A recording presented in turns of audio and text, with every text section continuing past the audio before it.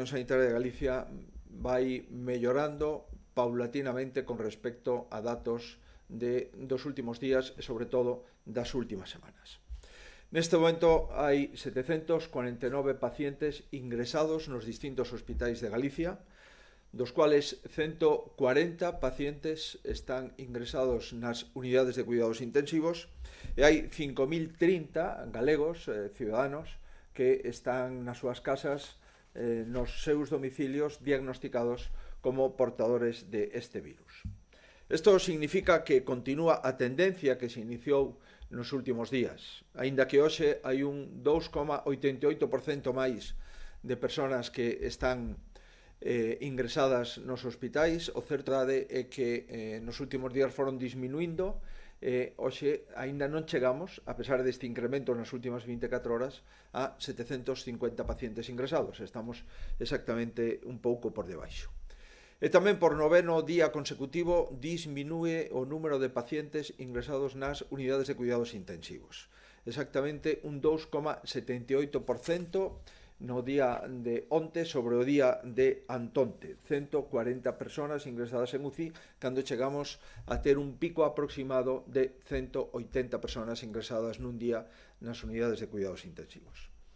É sin dúbida unha liña descendente, é unha liña esperanzadora e que debe de animarnos como sociedade a seguir traballando con intensidade e con todas as cautelas. Pero mm, a, nin a frialdade dos datos nin a duración desta crise que xa se prolonga eh, fai un mes debe facernos perder a perspectiva. Houbo persoas que recibiron a confirmación de que están infectadas nas últimas horas e, polo tanto, que están diagnosticadas como portadores do virus. Hai outras persoas que foron trasladadas ás unidades de cuidados intensivos.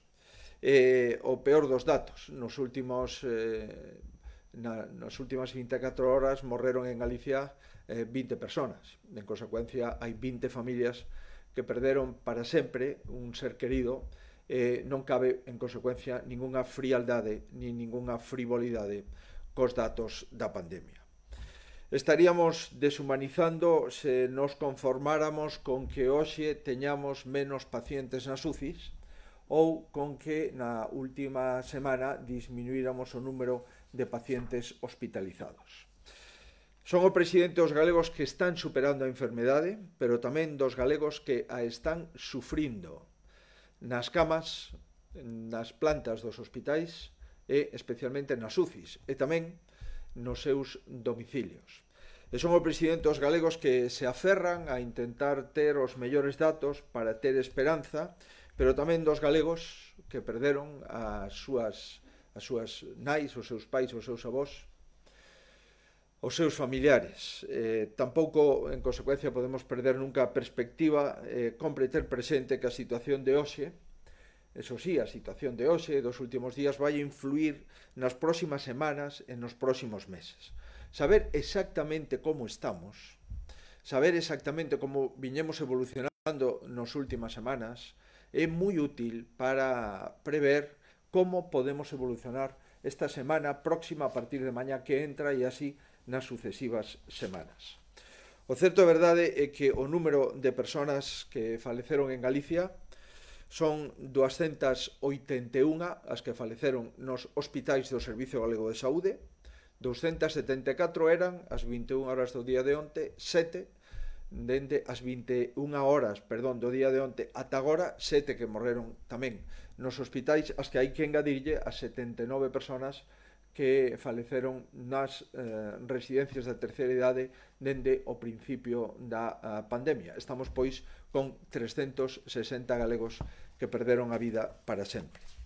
É certo que os datos de Galicia en relación con outras comunidades autónomas siguen sendo menos malos.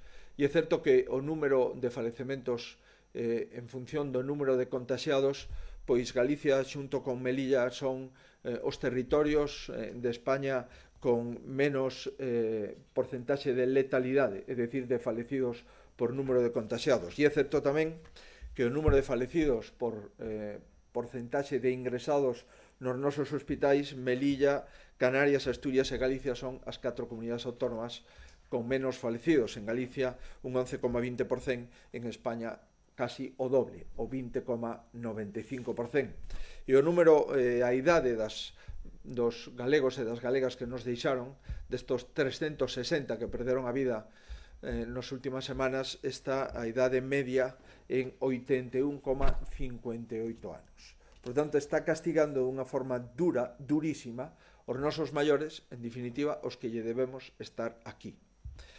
Por eso, como é tan importante eh, coñecer os datos, facer unha evolución axeitada dos mesmos, ir, ir vindo a evolución dos datos non só de Galicia, senón do conxunto de España, por eso lle volvimos a plantear, eu lle volvín a plantear ao presidente, como mando único que garantice la información contrastada y homologable en el conjunto de comunidades autónomas que conformamos España. En primer lugar, le pedí que se clarifique el número de infectados y de afectados por coronavirus. Y esto es imprescindible conocer cuántos test se realizan en cada comunidad autónoma para saber el porcentaje de población infectada. En función del número de diagnósticos, Cuanto mayor sea el número de diagnósticos, es decir, cuantos más test realicemos, más claridad y más seguridad vamos a tener en el conjunto de nuestro país y en la situación epidemiológica que sufre España. Le pidió al presidente disminuir las incertezas y las desconfianzas en el número de fallecidos. Y le pidió al presidente que clarifique cuál es el número de fallecidos por comunidades autónomas en el ámbito no solo sanitario, que lo sabemos, sino en el ámbito de las residencias de tercera edad. Estamos comunicando al Gobierno central el número de fallecidos en las residencias de tercera edad en Galicia. También lo están haciendo el resto de comunidades autónomas. Sería muy razonable compartir esa información. Compartir el número de test de diagnóstico que hace cada comunidad autónoma y compartir el número de fallecidos, no solo en hospitales, sino en las residencias de cada comunidad autónoma, nos da un orden de magnitud del impacto epidemiológico que se sufre en cada comunidad autónoma y nos da los datos necesarios para disminuir algunas eh, cautelas y algunas incertidumbres que tienen algunos ciudadanos cuando comprueban que el número de fallecimientos registrados en valga la redundancia, en el registro civil no concuerda con el número de fallecimientos que dan los servicios de salud o las comunidades autónomas. Es bueno, pues, compartir los datos y es bueno clarificar todos los datos. Segundo lugar, le he pedido al presidente del Gobierno que nos diga cuáles son las previsiones del comité clínico que tiene el Gobierno central en lo que va a ocurrir esta semana que entra, la próxima semana, los próximos 15 días, las próximas tres semanas. Venimos pidiendo y vengo pidiendo desde el primer día un estudio epidemiológico de las comunidades autónomas que conformamos España. Solo conociendo los datos globales de nuestro país podemos hacer un estudio epidemiológico en cada comunidad autónoma y así acertar en las medidas, en las cautelas y en los procedimientos que cada comunidad autónoma, desde el punto de vista sanitario y desde el punto de vista sociosanitario, le corresponde adoptar para aceptar. No es nada novedoso, lo vengo pidiendo y la mayoría de presidentes también lo estamos recordando en todas las conferencias de presidentes. Contar con los datos de previsión que maneja el mando único, es decir, el Gobierno central, no es un capricho.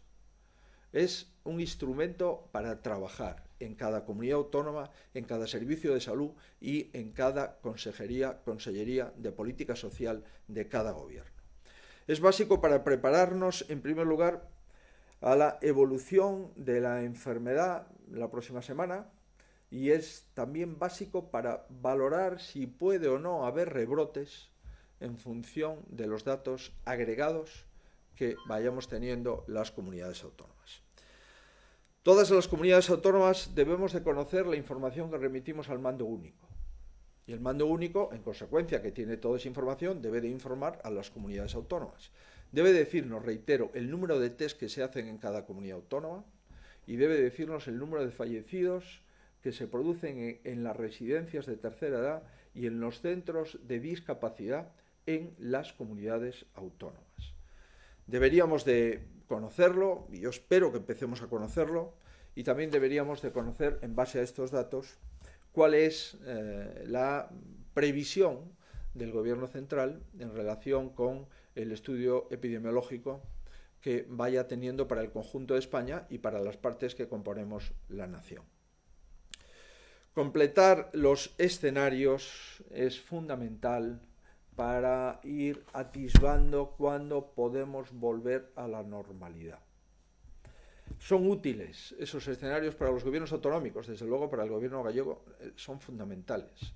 Es útil también para los trabajadores, para los emprendedores, para las organizaciones sociales, para eh, los empresarios, es útil para las familias, es útil en definitiva para la nación.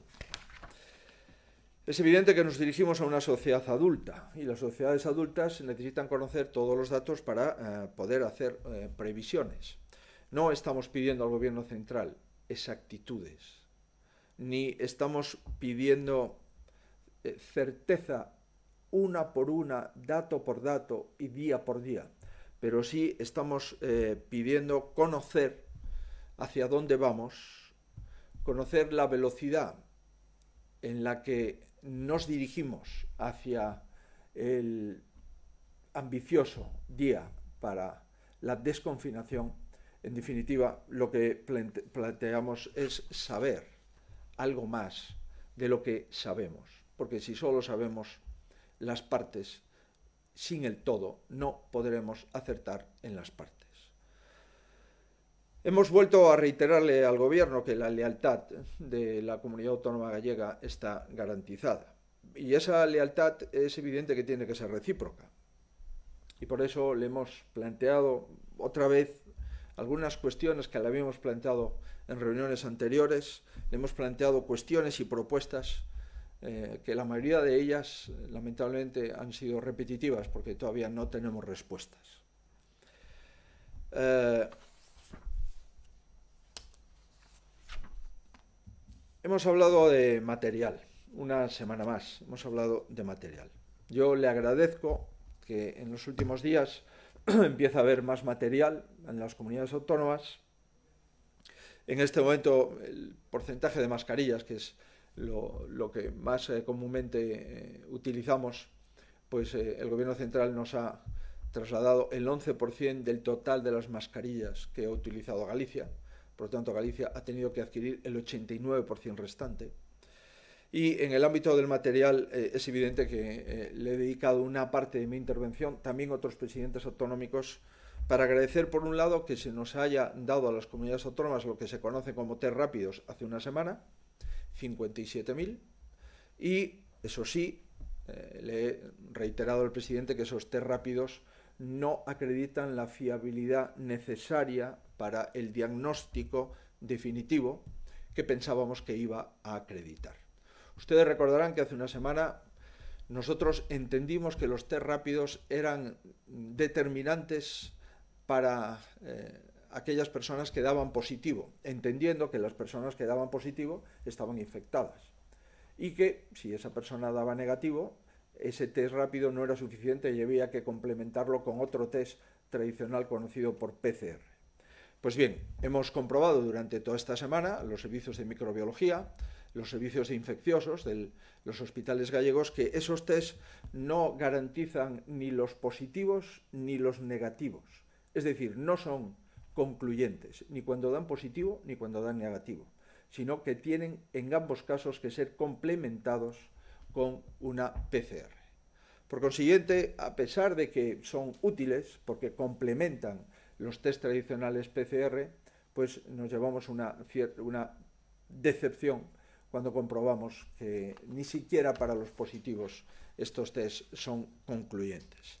Por eso lo lógico es que el gobierno intente comprar test rápidos que sean concluyentes al menos para los positivos. Existen, están en el mercado y la comunidad gallega está intentando comprarlos. Y por eso reiteramos, los test rápidos del Gobierno central son buenos para hacer estudios epidemiológicos, pero no son definitivos en los diagnósticos. Y creo, estoy convencido, que si orientan bien sus compras hacia los test rápidos que sean concluyentes, al menos en los positivos, sería un gran avance para practicarlos de forma masiva en las residencias, que aún nos quedan, y practicarlos también en otras eh, personas o en otras eh, personas que presentan algunas dudas respecto a su diagnóstico. Sobre material de protección también hemos vuelto otra vez, eh, lamentablemente, a hablar de las mascarillas. Creo que toda la opinión pública gallega recuerda que hace ya 15 días, las últimas dos conferencias de presidentes, eh, algunos presidentes, yo mismo, he planteado que era necesario establecer un protocolo de utilización de las mascarillas. Pues bien, lamentablemente eh, esto no, no, es, no es así, no tenemos un protocolo de utilización de mascarillas, lo hemos comentado, insisto, por tercera semana consecutiva, y el sí pero no no es un protocolo. Eh, y en consecuencia, pues esto está provocando alguna desconfianza y algún nerviosismo. Eh, el presidente nos ha dicho que lo va a entregar en las bocas de metro y también en las grandes eh, infraestructuras, supongo. El delegado del gobierno en Galicia nos ha dicho ayer que también se entregará en algunas, espero, en las estaciones de autobuses y en, los, en las estaciones de ferrocarril por parte del gobierno central. Bueno, no, no entendemos esta decisión ni compartimos eh, que esto se haga desde de ayer para hoy y ningún presidente sabe exactamente cuál es el protocolo de las mascarillas del gobierno central, es decir, cuál es el protocolo de las mascarillas en España. Lo que sí digo, y el Comité Clínico Gallego así nos lo recomienda, que la mascarilla eh, no es una medida es una medida complementaria, pero que en ningún caso puede reemplazar a las medidas de distanciamiento social y por lo tanto el uso de la mascarilla no puede conducir a la relajación del resto de medidas de protección. Es mucho más importante estar a dos metros entre sí, entre las personas, que utilizar una mascarilla. Por lo tanto, con mascarilla y sin mascarilla sigue siendo imprescindible la distancia de seguridad. Y ya digo, yo espero que el mando único, es decir, el Gobierno Central, nos diga realmente cuál es su propuesta para la utilización de mascarillas en España. Porque, lamentablemente, si esas propuestas son desconocidas o son parcialmente conocidas y son mayoritariamente improvisadas, eso no produce tranquilidad y sosiego que necesitamos más que nunca en este momento. Le informé al presidente de la situación de las eh, residencias de mayores y personas con discapacidad. Para nosotros sigue siendo prioritario. Eh, el Gobierno ofreció en su día ayuda a las comunidades autónomas a través de la UME la UME es un excelente eh, cuerpo profesional en el ámbito del Estado, pero lamentablemente la UME tenía como orden dedicarse únicamente a la desinfección exterior de esas residencias. El Gobierno publicó en su día un protocolo para las residencias, nosotros se lo hemos agradecido, pero Galicia ya había publicado un protocolo ocho días antes, el 13 de marzo. El Gobierno decretó la semana pasada que en las residencias se tenían que hacer pruebas diagnósticas masivas, también se lo hemos agradecido, pero es que en Galicia ya llevábamos haciendo pruebas diagnósticas con toda la máxima intensidad que nos permitía el número de test eh, disponibles en el mercado y en este momento hemos hecho ya más de 7.000 pruebas diagnósticas en las residencias de tercera edad. Y el Gobierno solicitó la semana pasada información de los fallecimientos en las residencias y nosotros estábamos ya intentando en Galicia dar información de los fallecimientos en las residencias cada vez que se producían, distinguiendo los fallecimientos en los hospitales de los fallecimientos en las residencias de tercera edad. Por lo tanto, nada nuevo en relación con las residencias por parte del Gobierno central. Nosotros seguiremos trabajando eh, con prioridad en el ámbito de las residencias de mayores y eh, de, discapacidad. Sí hice un pequeño apunte por primera vez en relación con el confinamiento de nuestros niños, de nuestras niñas. Llevan un mes y medio sin poder salir de sus casas. Si seguimos así, estarán dos meses sin poder salir de sus casas. Hasta ahora yo no me había pronunciado, pero creo que ha llegado el momento de buscar una fórmula pactada con los expertos para que nuestros niños, nuestras niñas puedan salir de forma controlada, de forma limitada, de forma ocasional y de forma segura de la mano de sus padres o de su madre. Creo que es necesario porque un mes y medio de confinamiento de, los niños es, es, un tiempo que nos parece excesivo, pero si no buscamos una fórmula en los próximos días para que un niño o una niña puedan salir de sus casas de la misma forma que puede salir la mascota de una familia, pues eh, estaremos, eh, en nuestra opinión, en opinión del Servicio de Salud y de eh, la Junta de Galicia y del Gobierno, en una situación de discriminación impropia. Y por último, es evidente que hemos hablado de la desescalada. ¿Qué tiene previsto el Gobierno para la desescalada? Es decir, para volver paulatinamente a la actividad. Es fundamental que empecemos a prepararnos para estos niveles de desescalada. Y en Galicia eh, estamos eh, intentando ya dibujar cuál es eh, el horizonte y cuáles son los trazos gruesos de la desescalada. En Galicia hemos creado un grupo de expertos en el ámbito de la economía, en el ámbito social, en el ámbito del trabajo, en el ámbito de las empresas.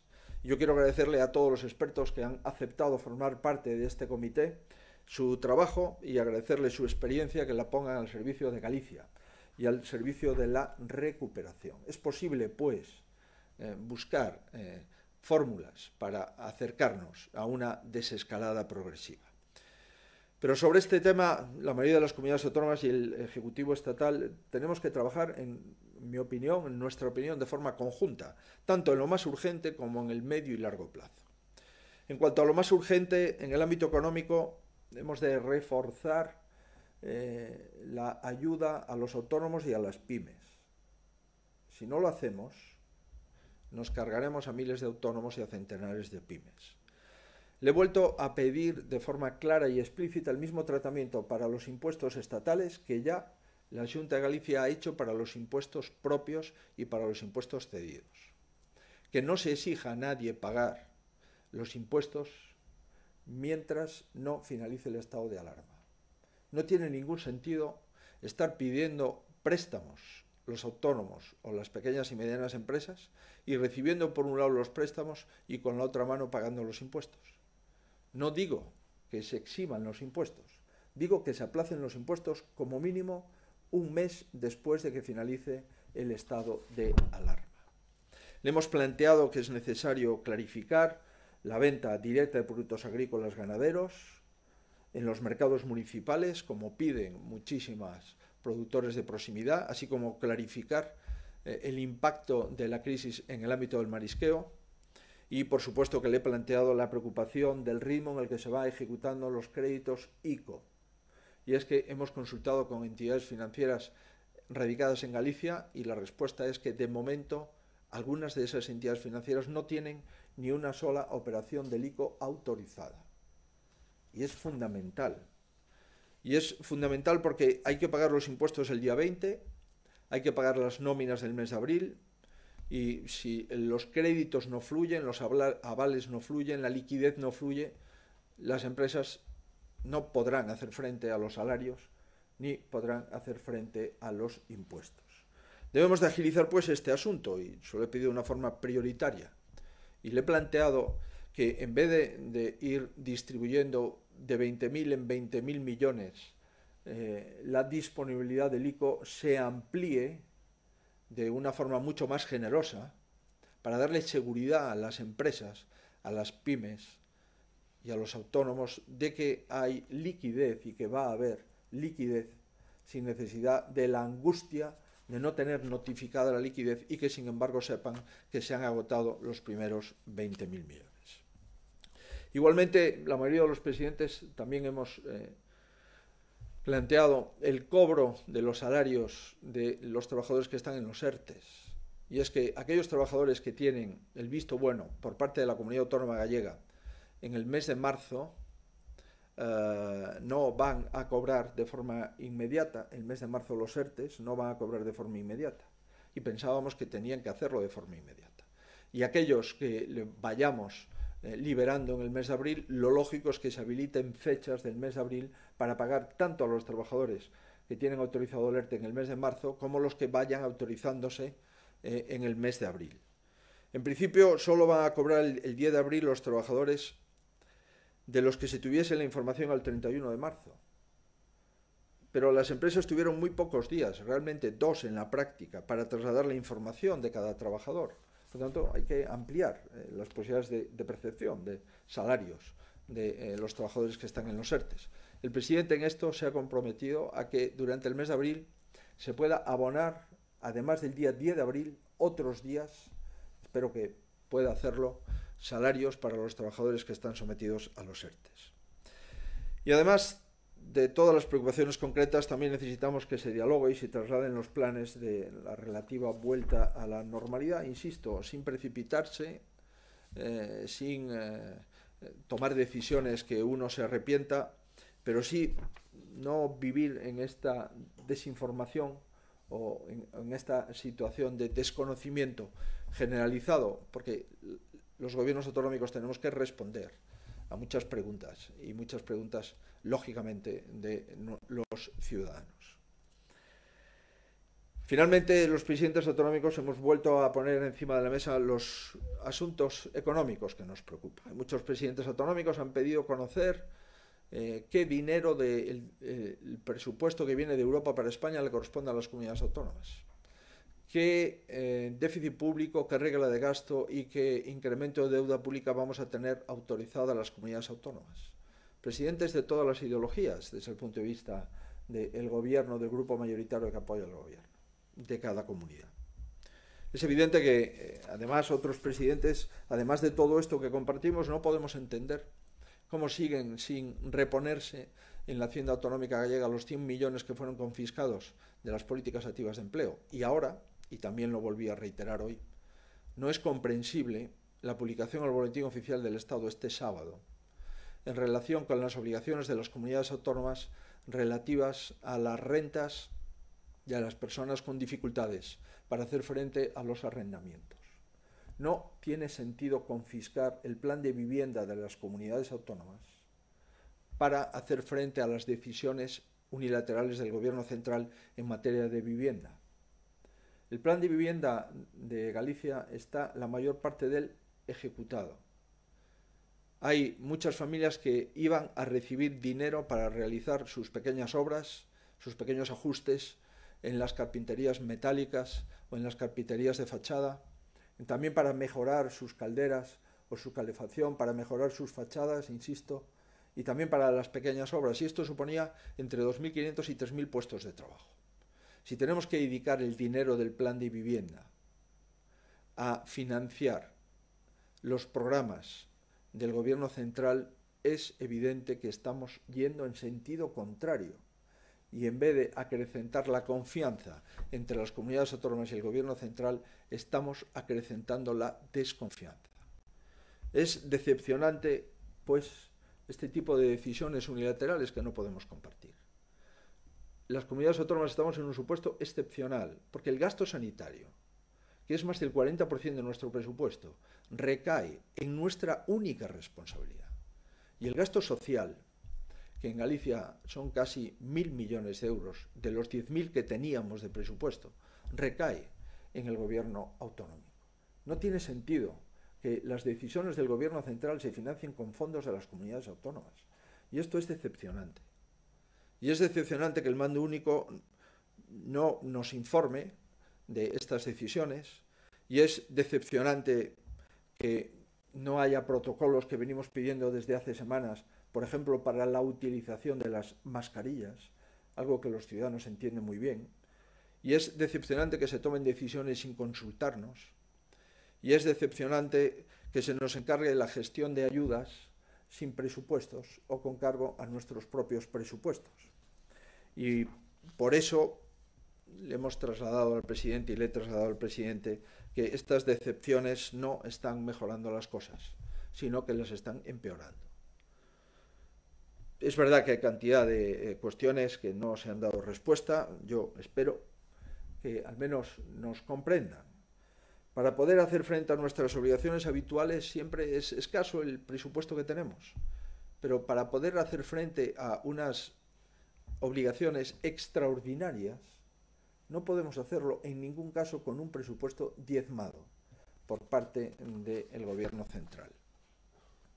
Durante todas estas semanas, todos los responsables autonómicos hemos estado a la orden del mando único, es decir, del Gobierno central. Yo les aseguro que voy a seguir estando.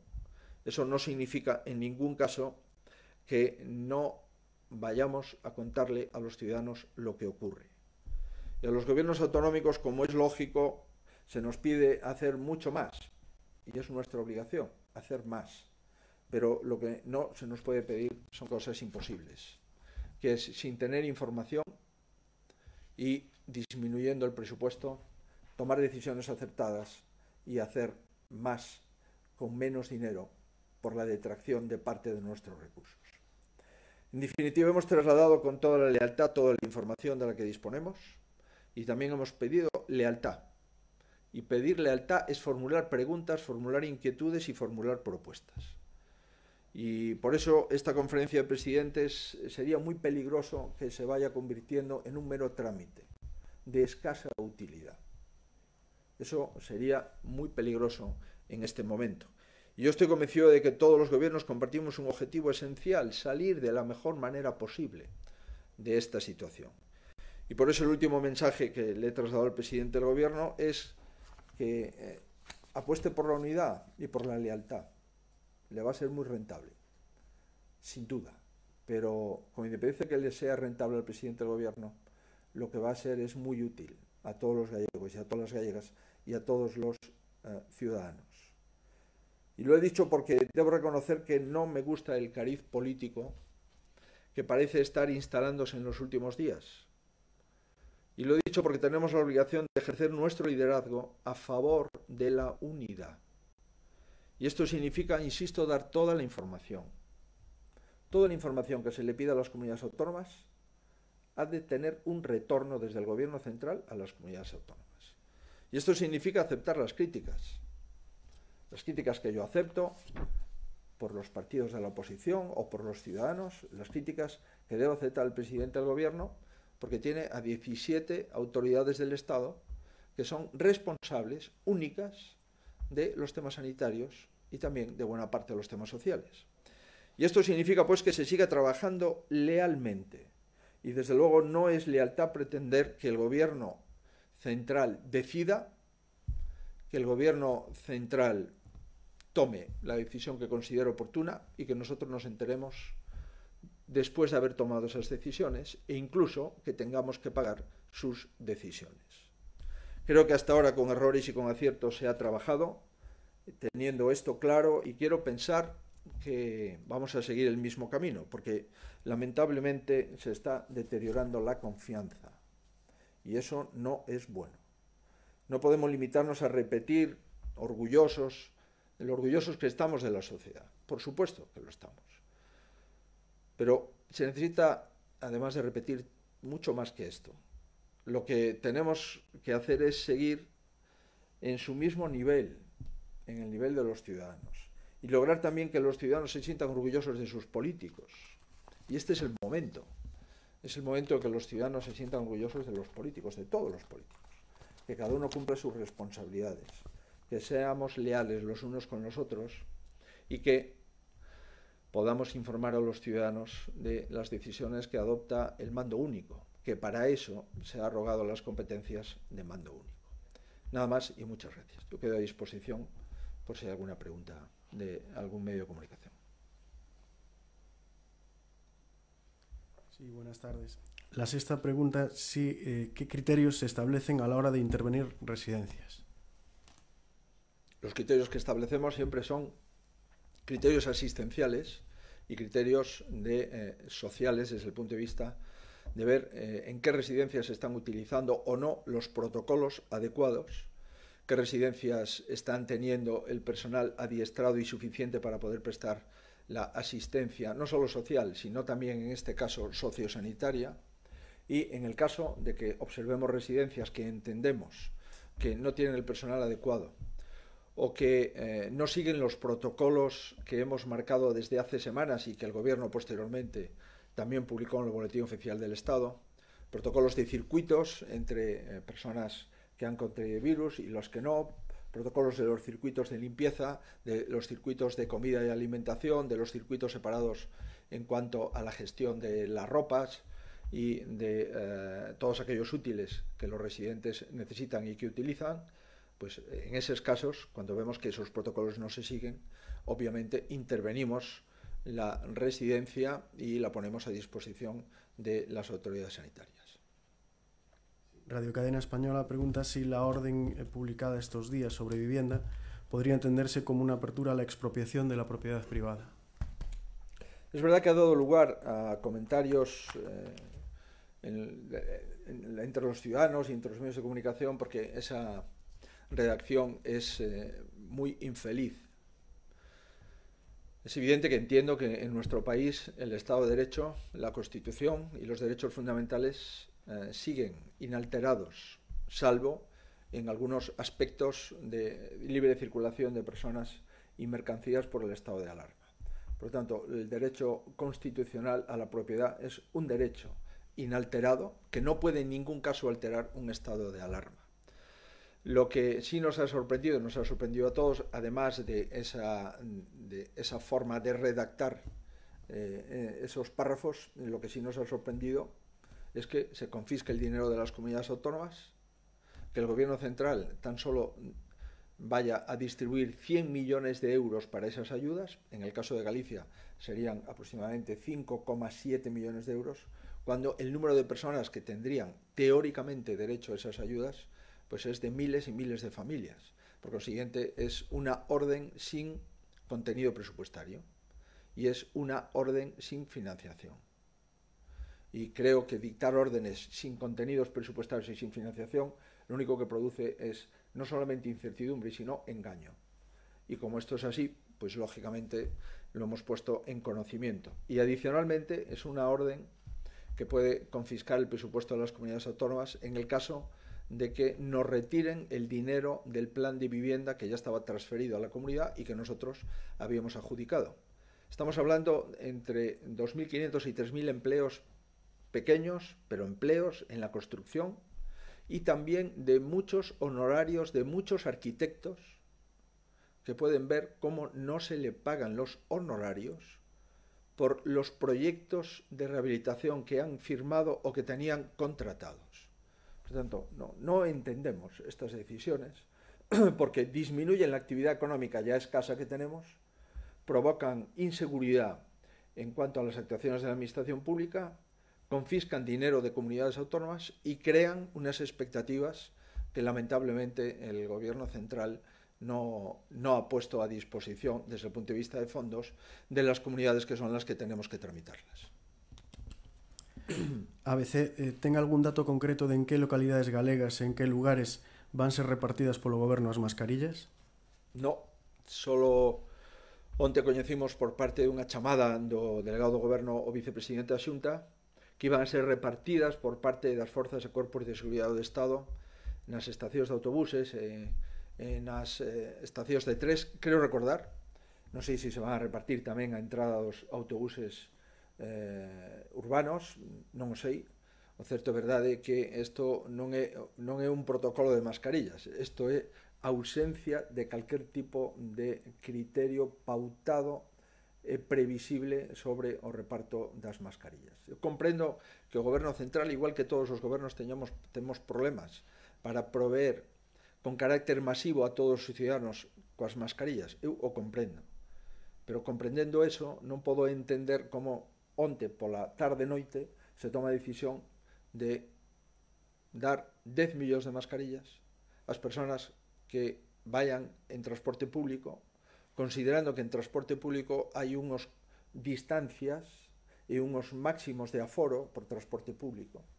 E, en consecuencia, esas persoas teñen que utilizar mascarillas cando chegan ao seu punto de traballo, non? Esa mascarilla lle chega para un día é unha mascarilla lavable, unha mascarilla cirúrxica, en definitiva, esta sensación é unha sensación eh, impropia e eu lamento que as conferencias de presidentes non teñan polo menos un valor de coñecer con exactitude este tipo de protocolos con anterioridade. E por eso digo que, dado que en España non hai nadie que poda garantizar de momento, polo que sabemos o goberno de España ten comprados millóns e millóns de mascarillas, no futuro, o mellor o que pretende facer é entregalas el dentro dunhas semanas, a nós tampouco nos informan o respecto, pero digo que o que non podemos é disminuir a distancia social e o distanciamento social. E o que non podemos o LUNS, cando xente se incorpora aos seus postos de traballo, esquecerse das guías que estamos publicando, tanto o Ministerio de Sanidade como as comunidades autónomas, diariamente, hoxe tocou a guía da construcción, e o distanciamento social e a higiene de mans e a utilización correcta no caso dos guantes de non tocarse as partes húmidas da cara é fundamental, moito máis que calquer outro eh, recomendación ou calquer outro plantexamento. Si, sí, hai varias sobre a saída eh, da crise eh, Radio Televisión de Galicia Pregunta se si é vostede partidario de levantar gradualmente por territorios as medidas de confinamento e as restriccións económicas en vez de en toda España. En esa mesma liña Europa Press eh, refírese a que pide un protocolo de desescalada único, pero como Galicia está mellor en parámetros como letalidade, se ve factible unha desescalada diferente e adaptada a cada comunidade. É fundamental facer un estudio epidemiolóxico. Creo que os medios de comunicación galegos xa están aburridos de esta petición. É fundamental facer un estudio epidemiolóxico en cada territorio que conforma a nación española. É fundamental facelo coa mesma sistemática e metodoloxía. É fundamental a confianza de que o Goberno Central nos deixe, nos encargue facer ese estudio epidemiolóxico. Pero parece ser que esa confianza non a temos e que o Goberno Central vai a facer o seu estudio epidemiolóxico. Por lo menos lle pedimos que nos diga cal é a metodoloxía que vai a utilizar.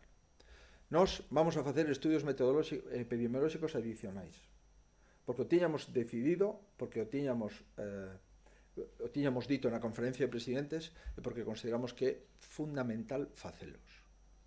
Sin ese estudio epidemiolóxico, falar de desescalada é un pouco irresponsable. Con ese estudio epidemiolóxico e cos test generalizados a maior parte da población, falar de desescalada é necesario.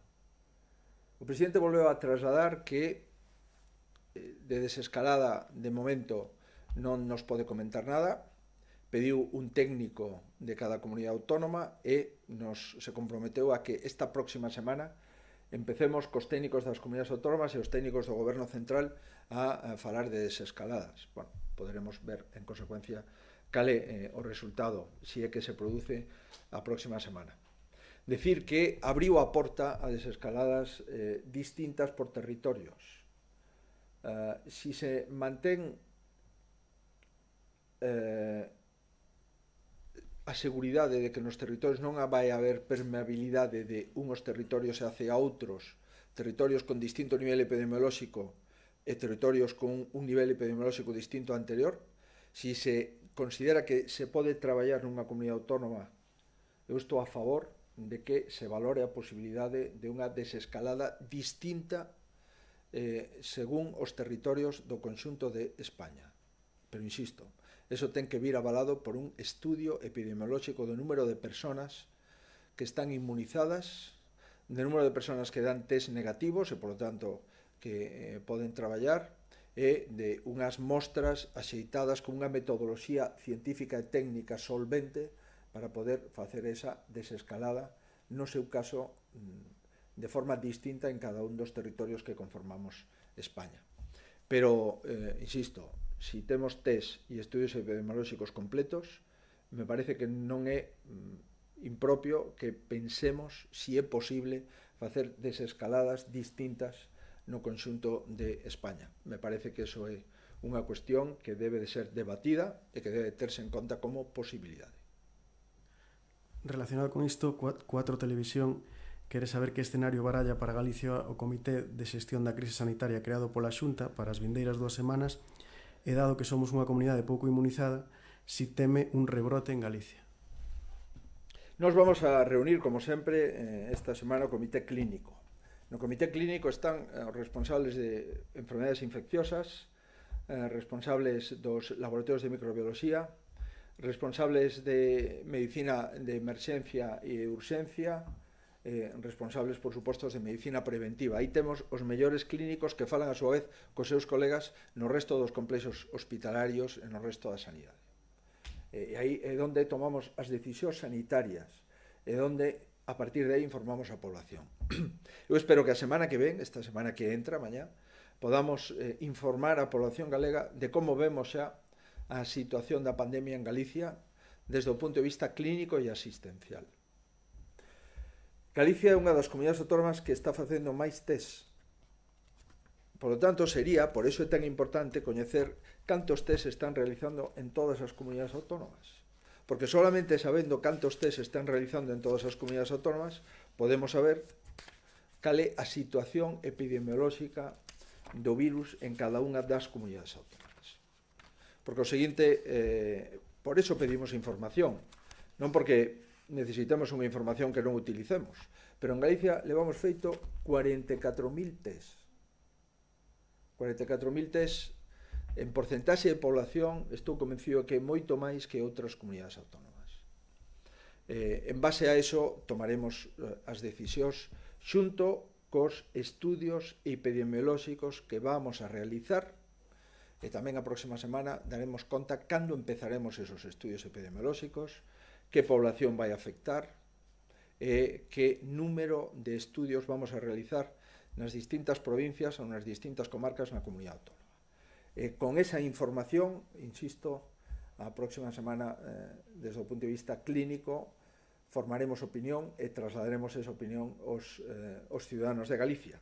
Esperemos, insisto, que a finais da próxima semana teñamos xa un diseño desde o punto de vista asistencial do que se pode considerar eh, a previsión sanitaria que eh, vai a ter Galicia nas próximas semanas. Se tuvéramos o estudio epidemiolóxico do conxunto das comunidades autónomas e de España e a proposta do Goberno Central iríamos máis rápido. Se non o temos, pois iremos indo cos nosos propios medios e co, coa nosa exclusiva información. Faro de Vigo recorda que falou de permitir a saída dos, dos nenos á rúa e pregunta que posibilidades reais hai de aplicar esta medida e de que prazos falaríamos. En esa mesma liña, el mundo eh, quere saber cal foi a resposta do goberno a esta petición e se si sería factible autorizalo en Galicia sen modificar o estado de alarma.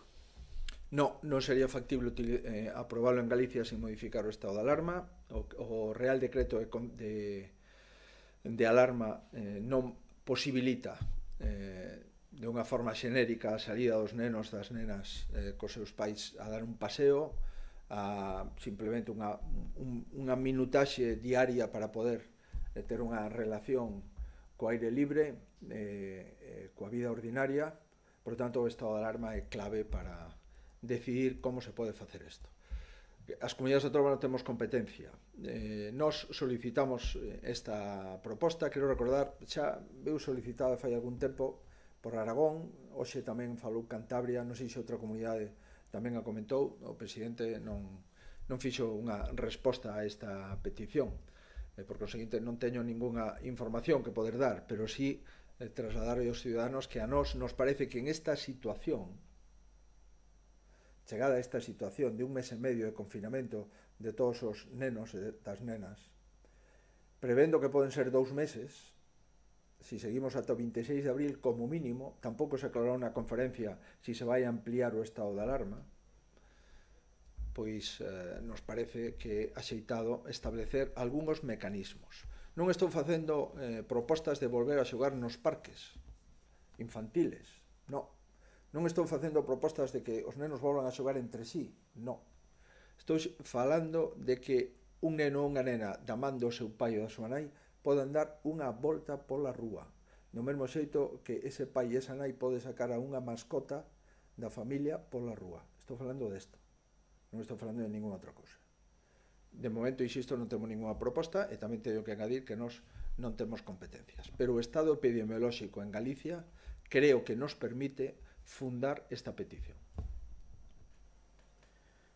Cadena Ser cree que chegou o momento para reeditar os pactos da Moncloa e Por outra banda, Galicia é a única comunidade que mantén a data das oposicións de educación, pregunta cal é o motivo. Primeiro, Galicia non é a, unha comunidade, a única comunidade autónoma. Euskadi, o que dixo é que se pospoñía a data de xuño e que se volvería a falar de algunha outra posibilidade de facer oferta pública de emprego este ano.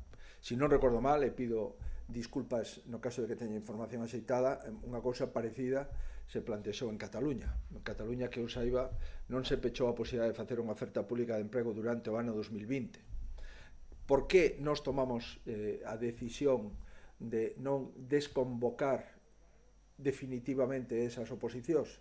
Pois porque pensamos que os opositores teñen dereito a poder ter unha plaza en propiedade no ensino público de Galicia, porque pensamos que hai moita xente que levaba traballando, estudiando, esforzándose durante moitos meses para poder ter a posibilidade de que no mes de xullo poda eh, examinarse, eh, porque pensamos que antes de tomar esta decisión é necesario falar cos clínicos en Galicia e é tamén necesario coñecer cale o estado de alarma que prevé o goberno plantexar. Sabemos que plantexa xa ata o 26 de abril, pero non sabemos se si se va a ampliar o estado de alarma. Outro día, no debate no Congreso dos Deputados, o presidente deixou caer que era posible ampliar o estado de alarma máis alá do ano do 26 de abril. Quero dicirles que no día de hoxe non nos aclarou nada ao respecto. Comprenderán que nesta situación é moi difícil acertar, pero nós tomaremos esa decisión o máis pronto posible e solamente intentábamos preservar os dereitos de tanta xente que leva traballando e estudiando e esforzándose durante tantos meses e que pode ver eh, que se acaban as posibilidades de obter unha praza no ensino público de Galicia no ano 20 e que ten que pospoñerse ato ano 21. E sobre os pactos da Moncloa, eu creo que son moi suena moi ben, é eh, moi bonito decilo, que pasa que a vontade de pacto hai que hai que. Creo que en el caso de los pactos de la Moncloa lo que tenemos solamente es el título, pero desconocemos la letra y la música. No, no conocemos nada del contenido, de la propuesta, del de, eh, escenario. Y yo creo que debería de evitarse el error de anunciar cosas que ni siquiera están trabajadas. Yo creo que siempre es mejor trabajar las cosas previamente y anunciarlas después. Y lamentablemente en este momento se anuncian cosas que ni están trabajadas, ni están concretadas, ni se conoce su contenido, ni se conoce su alcance, ni se conoce quiénes pueden firmarlas. Sí conocemos que eh, los grupos parlamentarios socios del gobierno en el Congreso de los Diputados han dicho que lo que hay que hacer es pactar con Cataluña y con Euskadi. Es decir, los partidos independentistas socios de los gobiernos, en vez de querer los pactos de la Moncloa, lo que quieren son los pactos anti-Moncloa. En este contexto comprenderán que es muy difícil eh, tomarse las cosas en serio cuando además son cosas muy serias. El diario.es pregunta si le parece razonable que la presidenta de la Comunidad de Madrid apareciese en la conferencia de presidentes con dos horas de retraso y si ha hecho usted algo para que eh, deje de ocultar los datos de fallecidos en Madrid. Mira, la presidenta de la Comunidad de Madrid ha pedido disculpas por el retraso que ha tenido en su eh, incorporación a la conferencia de presidentes, eh, pero la presidenta de la Comunidad de Madrid ha dicho algo que creo que es muy importante. Es muy difícil estar en una conferencia de presidentes poniéndonos a la orden del presidente del gobierno y de sus ministros. Cuando eh, hay presidentes, y en este caso ella de forma explícita, que son constante y continuamente descalificados por el partido que apoya al gobierno. Es muy difícil entender que se ha de ser leal con aquel que es desleal. Y es muy difícil establecer una fórmula, incluso hablar de pactos de la Moncloa, cuando el partido que apoya al gobierno está de forma continuada y constante descalificando a un presidente autonómico que además ha sufrido la pandemia con más intensidad probablemente de cualquier otra capital europea hasta este instante. Por lo tanto, yo comprendo que en la actuación del Partido Socialista Obrero Español el otro día en el Congreso de los Diputados es indigna. La presidenta de la Comunidad de Madrid ha pedido que se disculpen con la Comunidad de Madrid y el presidente del Gobierno pues, no ha contestado. Ha dicho simplemente que aceptaba las críticas, pero no ha, adoptado ninguna, uh, ni siquiera la más mínima uh, atisbo de buscar alguna explicación a este comportamiento, en mi opinión, eh, impropio que ha tenido el gobierno perdón, el partido que apoya al gobierno en el Congreso de los Diputados en contra de presidentes autonómicos y de una forma muy especial en contra de la presidencia de la Comunidad Autónoma de Madrid. Galicia Confidencial refírese ao material e pregunta que material mercado pola Xunta está xa, se chegaron respiradores e os test rápidos, e sobre a posibilidade de que estes test rápidos se podan realizar para estudios epidemiolóxicos, Pregunta especificamente que está facendo cos test rápidos remitidos polo Goberno Central, onde están sendo utilizados. Ben, eh, sobre os test rápidos o que estamos facendo, creo que o dixemos outro día, é eh, complementando as PCRs que estamos realizando tanto material a personal sanitario como o personal de residencias de terceira edad.